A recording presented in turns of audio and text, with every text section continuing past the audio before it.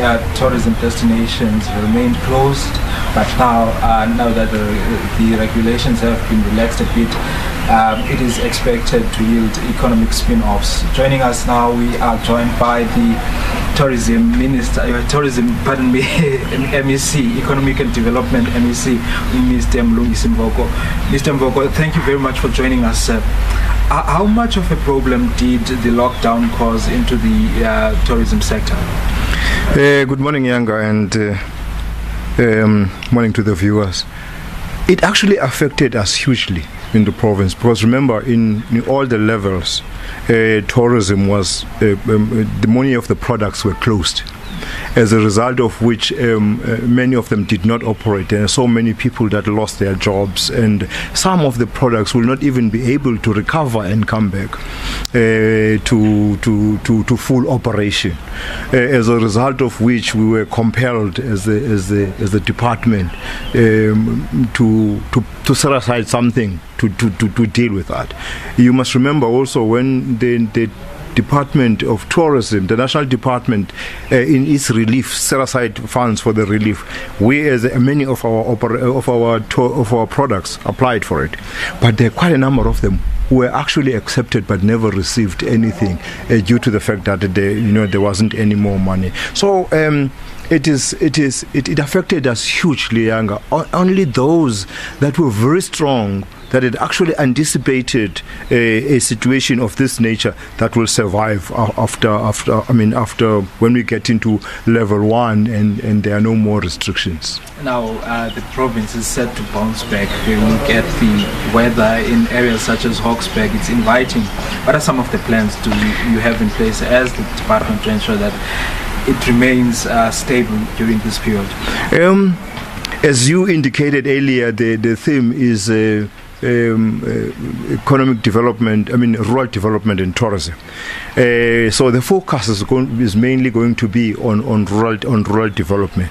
Uh, the department is actually has a number of uh, projects, but let me just take you one on rural development, uh, where it is multifaceted in, in, that it combines a number of things at the same time. For instance, they, we have a, a trail, a hiking trail from Port St. John's to Port Alfred one continuous hiking trail.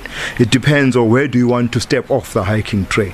And as you step off, you get an experience uh, of the culture and the heritage of where you would go into homestays. The depart, the, the, the, the the tourism agency has gone into extensive um, uh, efforts in making sure that they train people, uh, you know, in the tourism in, in those homestays to be able to to welcome and treat those people and give them that experience that they need. So they would train them for that. So when you step off in the in the in the hiking trail, you get there, you get the culture, you get to go and collect wood, at, uh, you know, in the forest and come back.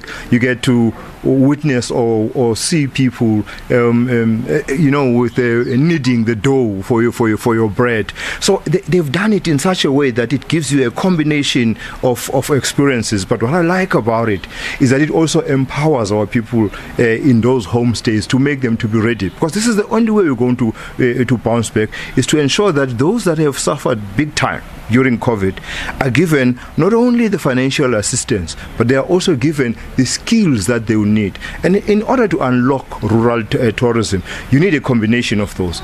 But partly, we were in discussion with the MEC for Arts and Culture saying, uh, because September is also a heritage month, let's look at how we can combine this. So, yes, we are preparing uh, to ensure that uh, we welcome everyone coming to the Eastern Cape, and we, we are saying we are open to it.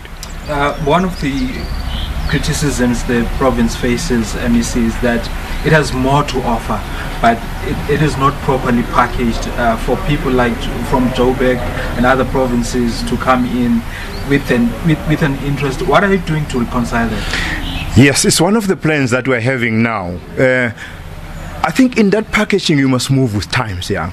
I think what where we have been might have been lagging is that we were not moving with times.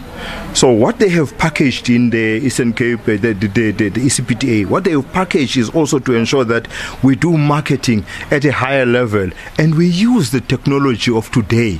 Um, I was talking to the CEO this morning. He's saying if you go to Joburg now uh, at the airport, they are there these are new boards that are there now. They've been put uh, by ECPTA. So we've set aside some funds for that, and they've uh, and, and they've started working because the problem is you can't try and you can't market at your destination or, or, when you, people arrive in East London or in, in Port Elizabeth. It's too late. Those people know exactly where they are going. So we must try and uh, uh, do that marketing away from this so that people when they come uh, into Port Elizabeth they actually have been lured one way or the other by our marketing. So yes we have set aside some funds and we've started with that. That's why if you go to Joburg you go to Cape Town if you go to Durban now we are, we are already there doing exactly what you are saying as we have identified it as one of those areas we have to do more.